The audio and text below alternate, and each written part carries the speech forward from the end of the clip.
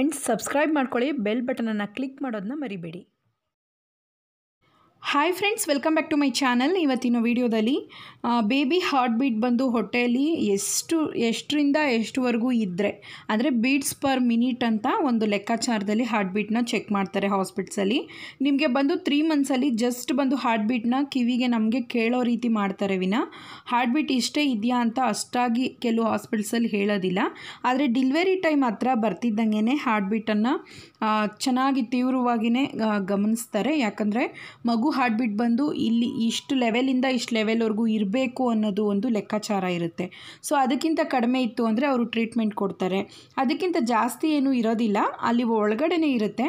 So ಅಂಥ ಒಂದು equipments ಇದೇ ಇದರ ಸಹಾಯದಿಂದನೇ ಹಾರ್ಟ್ ಬೀಟ್ ಎಷ್ಟಿದೆ ಅಂತ ಒಂದು ರಿಪೋರ್ಟನ್ನು ಹಾಸ್ಪಿಟಲ್ಸಲ್ಲಿ ಕೊಡ್ತಾರೆ. ಸೊ ಇದು ಯಾಕೆ ಚೆಕ್ ಮಾಡ್ತಾರೆ ಅಂದರೆ ಬೇಬಿ ಹಾರ್ಟ್ ಬೀಟ್ ಬಂದು ಕಂಟ್ರೋಲ್ ಆಗಿ ನಾರ್ಮಲ್ ಆಗಿ ಇತ್ತು ಅಂದರೆ ಬೇಬಿ ಬಂದು ಉತ್ತಮವಾಗಿ ಹೊಟ್ಟೆಯಲ್ಲಿ ಬೆಳೀತಾ ಇದೆ ಅಂತ ಅರ್ಥ. ಯಾವುದೇ ಟ್ರೀಟ್ಮೆಂಟ್ ಅವಶ್ಯಕತೆ ಇಲ್ಲ ಅಂತ. ಸೊ ಇದು ಫೈಂಡ್ ಔಟ್ ಮಾಡ್ತಾರೆ. ಈಗ ಮೊದಲನೇದಾಗಿ ಬೇಬಿ ಹಾರ್ಟ್ ಬೀಟ್ ಬಂದು ನೂರ ಹತ್ತಿಂದ ನೂರ ಅರವತ್ತು ಬಿ ಪಿ ಎಂ ಇರಬೇಕು. ಬಿ ಪಿ ಎಂ ಅಂದರೆ ಬೀಟ್ಸ್ ಪರ್ ಮಿನಿಟ್ ಒಂದು ನಿಮಿಷಕ್ಕೆ ನೂರ ಹತ್ತಿಂದ ನೂರ ಅರವತ್ತುವರೆಗೂ ಇರುತ್ತೆ. ಇದು ಬಂದು ಹೋಗ್ತಾ ಹೋಗ್ತಾ ನಿಮಗೆ ತಿಂಗಳು ತಿಂಗಳು ಆಗ್ತಾ ಆಗ್ತಾ ನಿಮಗೆ ಒನ್, ನೂರ ಎಪ್ಪತ್ತಕ್ಕೆ ಬಂದು ಇದು ಇನ್ಕ್ರೀಸ್ ಆಗುತ್ತೆ. ಸೊ ಯಾರು ಅವ, ಭಯಪಡೋ ಅವಶ್ಯಕತೆಗಳಿಲ್ಲ. ನಿಮ್ಗೇನಾದರೂ ನಿಮ್ಮ ಹತ್ರ ರಿಪೋರ್ಟ್ಸ್ ಇತ್ತು ಅಂದರೆ ನೀವು ಚೆಕ್ ಮಾಡಿ ನೋಡಿ ಇದ್ರ ಒಳಗಡೆನೇ ಇರುತ್ತೆ.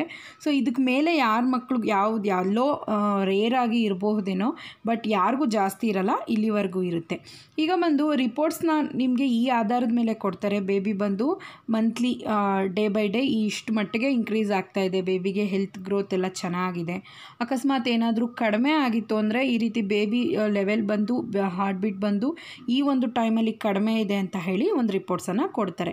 ಸೊ ಈಗ ಬಂದು ನೂರ ನಲವತ್ತು ಬಿ ಪಿ ಎಂ ಒಳಗಡೆ ಇತ್ತು ಅಂದರೆ ಅದನ್ನು ಗಂಡ್ಮಗು ಅಂತ ಹೇಳಲಾಗ್ತಾ ಇದೆ. ಬಟ್ ಇದು ಎಷ್ಟರವರೆಗೂ ನಿಜ ಅನ್ನೋದು ನನಗೆ ಗೊತ್ತಿಲ್ಲ. ಬಟ್ ಇದು ಬಂದು ಒಂದು ಸೈಂಟಿಫಿಕ್ ಆಗಿ ಪ್ರೂವ್ ಆಗಿರುವಂಥದ್ದು ನೂರ ನಲವತ್ತು ಬಿ ಪಿ ಎಂ ಅಂದರೆ ಬಿಟ್ಸ್ ಪರ್ ಮಿನಿಟ್ ಬಂದು ನೂರ ನಲವತ್ತು ಒಳಗಡೆ ಇದ್ದರೆ ನೂರ ಹತ್ತು, ನೂರ ಇಪ್ಪತ್ತು, ನೂರ ಮೂವತ್ತು ಅಷ್ಟಿದ್ದರೆ ಗಂಡ್ಮಗು ಅಂತಲೂ ನೂರ ನಲವತ್ತು ಮೇಲೆ, ನೂರ ನಲವತ್ತು ಮೇಲೆ ನೂರ ಐವತ್ತು, ನೂರ ಎಪ್ಪತ್ತು, ಆ ಥರ ಏನಾದರೂ ಹಾರ್ಟ್ ಬೀಟ್ಸ್ ಇದ್ದರೆ ಅದನ್ನು ಹೆಣ್ಮಗು ಅಂತಲೂ ಹೇಳಲಾಗ್ತಾ ಇದೆ. ಯಾಕಂದರೆ ಗರ್ಲ್ಸ್ ಬೇಬಿಗೆ ಬಂದು ಆಲ್ಮೋಸ್ಟ್ ಆಗಿ ನ್ಯಾಚುರಲಾಗೆ ಹಾರ್ಟ್ ಬೀಟ್ ಜಾಸ್ತಿ ಇರುತ್ತಂತೆ. ಸೊ ಈ ಒಂದು ಕೌಂಟಿಂದ ಈ ರೀತಿ ಒಂದು ಅಂಡರ್ಸ್ಟ್ಯಾಂಡಿಂಗಲ್ಲಿ ಈ ರೀತಿ ಒಂದು ಹೇಳಲಾಗ್ತಾ ಇದೆ. ಬಟ್ ನೀವೆಲ್ಲ ಆ ರೀತಿ ಏನು ಅನ್ಕೋಬೇಡಿ. ಬಾಯ್ ಆಗಲಿ, ಗರ್ಲ್ ಆಗಲಿ, ಅದು ನಮ್ಮಗು ಅಂತ ನೀವು ಭಾವಿಸಿ. ಯಾಕಂದರೆ ಮೊದಲೇ ಆಸೆಗಳನ್ನು ಜಾಸ್ತಿ ಇಟ್ಕೊಂಡು ನಿರಾಸೆ ಆಗೋದು ಬೇಡ. ದೇವ್ರು ಕೊಡೋದು ಯಾವುದೋ ಒಂದು ಮಗು, ಅದು ನಮ್ಮ ಮಗು ಅಂತ ನೀವು ಮನಸ್ಸಲ್ಲಿ ಡಿಸೈಡ್ ಆಗಬೇಕು.